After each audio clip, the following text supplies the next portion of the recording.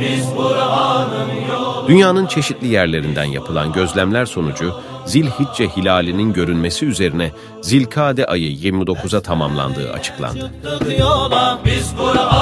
Bu durumda Kurban Bayramı da 16 Haziran'da idrak edilmiş olunacak.